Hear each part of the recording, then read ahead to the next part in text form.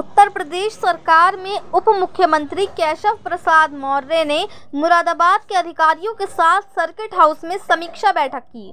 बैठक के बाद मीडिया से रूबरू होते हुए डिप्टी सीएम केशव प्रसाद मौर्य ने बताया कि ज़िले का विकास हमारी प्राथमिकता है। मुरादाबाद में चार्टर्ड अकाउंट की हत्या हुई थी। उस घटना को अंजाम देने वाले आरोपियों की गिरफ्तारी के लिए निर्देशित किया गया है। अधिकारियों से जो फीडबैक मिला है वो संतोषजनक है। मुरादाबाद विकास की ओर अग्रसर है। मुरादाबाद में विश्वविद्यालय स्थापित होने जा रहा है। प्रधानमंत्री नरेंद्र मोदी जी के नेतृत्व में देश आगे बढ़ रहा है तो वहीं योगी जी के उत्तर प्रदेश विकास की ओर अग्रसर है।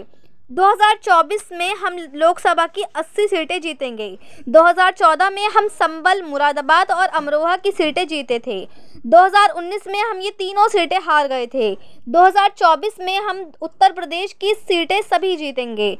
सपा के मुखिया अखिलेश यादव लगातार अहंकार पूर्ण बयान देते रहते हैं। हमारा वैचारिक व राजनीतिक दृष्टि विरोधी दल का भी नेता होता है, उसके प्रति हम आदरपूर्वक शब्दों का प्रयोग करते हैं। जबकि अखिलेश यादव अपमानजनक शब्दों का इस्तेमाल करते हैं, वो सैफई परिवार को पिछड़ा वर्ग का मानते हैं। बाकी किसी को पिछड़ा वर्ग का नहीं मानते। उनका बस चले तो मुझे सब स्थानों से हटा दें। समाजवादी पार्टी, समाप्तवादी पार्टी बनने जा रही है। सपा डूबता हुआ जहाज़ है। सपा का उत्तर प्रदेश की राजनीति में कोई भविष्य नहीं है। सपा के पास गुंडे और माफिया हैं। उनके पास जनता नहीं है। निकाय चुनाव के सवाल पर बोलते हुए कहा कि कल को सुप्रीम कोर्ट में सुनवाई है। भाजपा चुनाव को लेकर पूरी तैयारी में है। वहीं हिंदू नववर्ष की छुट्टी पर प्रतिक्रिया देते हुए कहा कि हिंदू नववर्ष पर देश की संसद में छुट्टी हुई। मैं उसका स्वागत करता हूँ। उत्तर प्रदेश सरकार के माध्यम से रामचरित मानस का अखंड पाठ समितियों का गठन करके हर ज़िले में कराया जाए। नवरात्रि का समय है, माँ दुर्गा सप्तशती का पाठ कराया जाए। ऐसे आयोजन कराए जाएँ। हम लोगों ने सरकारी स्तर पर भी व्यवस्था की है और जो इस तरह के बयान देते हैं, उनको बयानों का कोई महत्व नहीं होता। ऐसे बयान को मैं रिजेक्ट करता हूँ। मुरादाबाद से परवेज अंसारी की रिपोर्ट।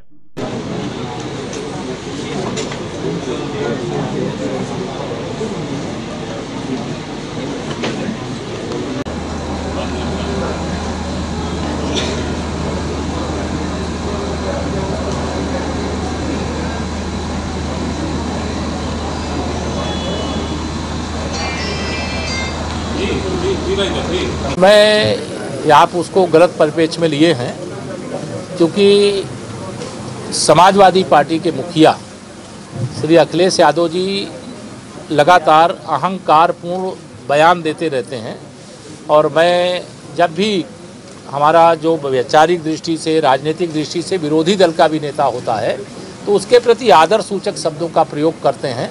लेकिन श्री अखिलेश यादव जी की आदत है अपमानजनक शब्दों का प्रयोग करना। और पिछड़ा वर्ग का मतलब वो सैफई परिवार को पिछड़ा वर्ग मानते हैं, बाकी किसी को पिछड़े वर्ग का नहीं मानते हैं। इसलिए वह जो गलत शब्दों का प्रयोग लगातार करते हैं और जो जहर उगलने का काम करते हैं, वह आप सब आपके चैनलों ने सब देखा है। उसके क्रम में जो सवाल था, उसका मैंने जवाब दिया है कि उनका बस चले तो मुझे वह ऐसे सभी स्थानों पर से हटा दे, चूँकि सपा समाप्तवादी पार्टी बनने जा रही है। सपा एक डूबता हुआ जहाज़ है। सपा का अब राजनीति में, उत्तर प्रदेश की राजनीति में कोई भविष्य नहीं है। सपा बयानबाजी में है, ज़मीन पर नहीं है, उनके पास गुंडे, अपराधी और माफिया हैं, उनके पास जनता नहीं है।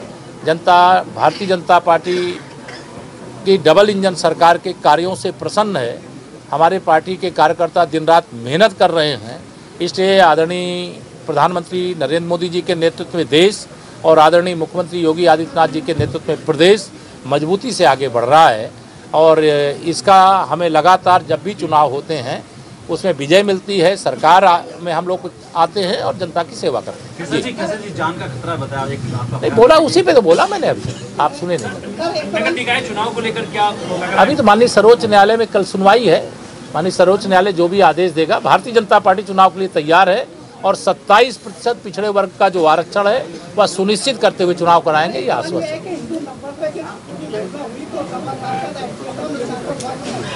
देखिए, हिंदू नववर्ष पर देश की संसद में छुट्टी हुई, मैं उसका स्वागत करता हूँ। उत्तर प्रदेश सरकार के माध्यम से श्री रामचरितमानस का अखंड पाठ हर ज़िले में कराया जाए, समितियों का गठन करके। यह नवरात्रि का समय है तो माँ दुर्गा सप्तती का पाठ कराया जाए। ऐसे आयोजन किए जाएँ वो हम लोगों ने सरकारी स्तर पर भी व्यवस्था की है। और जो इस प्रकार के बयान देते हैं उनके बयान का कोई महत्व नहीं है उनके बयान को कोई गंभीरता से नहीं लेता और ऐसे बयान को मैं रिजेक्ट करता हूँ। राहुल गांधी के मामले धन्यवाद। राहुल गांधी के ठीक है ये आएगा। आज मुरादाबाद दौरे के क्रम में पहले तो एक निजी चैनल का कार्यक्रम था मैं उसमें गया था लेकिन उसके बाद पार्टी, भारतीय जनता पार्टी का जो कोर ग्रुप है, उस कोर ग्रुप के साथ विस्तार से चर्चा किए। फिर हमारे पार्टी के जो मंडल अध्यक्ष और उसके ऊपर के सभी पदाधिकारी हैं, उनके साथ बैठने का काम हुआ। ज़िले के अंदर जो विकास के काम चल रहे हैं, उसके संबंध में कार्यकर्ताओं से भी फीडबैक लिया और फिर ज़िले की ये समीक्षा बैठक अभी मैं विस्तार के साथ विस्तार से कर रहा था। और ज़िले का विकास हमारी प्राथमिकता है। सबसे पहले तो मैं मुरादाबाद के निवासियों को यहाँ पर जो इस बार का हमारा उत्तर प्रदेश सरकार का बजट आया है, उसमें यहाँ एक विश्वविद्यालय स्थापित होने जा रहा है। इसके लिए बधाई भी दूँगा। और आने वाले समय में स्मार्ट सिटी प्रोजेक्ट के अंतर्गत कई परियोजनाएँ हैं। विकास प्राधिकरण के माध्यम से कई प्रोजेक्ट हैं। लोक निर्माण विभाग की दृष्टि से, सेतु निगम की दृष्टि से कई प्रोजेक्ट हैं। ग्राम विकास विभाग की दृष्टि से जो ग्राम चौपाल है, जो समूहों का गठन करके महिला सशक्तिकरण का अभियान है, इन सभी क्षेत्रों में बल देते हुए। आज की बैठक के माध्यम से जो यहाँ हमारे एक चार्टेड अकाउंटेंट की हत्या हुई थी, उस हत्या से जुड़े हुए जो असली अपराधी हैं, उनको जल्द से जल्द खोज निकालने के लिए भी निर्देश दिया गया है। मैंने यह भी स्पष्ट तौर से कहा है कि मैं चूँकि भारतीय जनता पार्टी का कार्यकर्ता पहले हूँ उप मुख्यमंत्री बाद में हूँ। इसलिए जितने भी अधिकारी हैं, यहाँ उन सबको स्पष्ट तौर से मैंने खुलेआम कहा है कि भारतीय जनता पार्टी का बूथ अध्यक्ष हो, चाहे जिला अध्यक्ष हो, हमारा कोई ग्राम प्रधान हो और चाहे जिला पंचायत के अध्यक्ष हो, हमारे चाहे कोई माननीय विधायक हों, चाहे विधान परिषद के सदस्य हों, इनके माध्यम से जो समस्याएँ हैं, बताई जाती हैं, उनको सर्वोच्च प्राथमिकता के आधार पर समाधान करना है। मैं पच्चीस जिलों के प्रभारी के नाते कभी भी ये स्वीकार नहीं कर सकता कि मेरे आने पे मेरी बात सुनी जाए और मेरे कार्यकर्ता की बात ना सुनी जाए। मेरी प्राथमिकता रहती, मेरे कार्यकर्ता की बात को सुना जाए। वैसे अधिकारियों से जो फीडबैक मिला है, वो संतोषजनक है। जिला विकास के पद पर तेज़ी से आगे बढ़ रहा है। यहाँ जो भी समस्याएँ आई हैं, उन समस्याओं को लेकर के चर्चा हुई है और जो इस ज़िले की आज की बैठक के माध्यम से निर्देश दिए गए हैं। उनका अनुपालन करते हुए जो ज़िले से संबंधित हैं, जो मंडल स्तर से संबंधित हैं, उनका समाधान करें और जो शासन से संबंधित हैं, उन समस्याओं को शासन को प्रेषित करने का काम करें। दूसरा राजनीतिक सवाल पूछें, उससे पहले मैं ये कह दे रहा हूँ कि 2024 के लोकसभा चुनाव, हम उत्तर प्रदेश में तो 80 में से 80 सीटें जीतेंगे लेकिन 2014 में मुरादाबाद भाजपा के पास थी, अमरोहा भाजपा के पास थी संभल भाजपा के पास थी।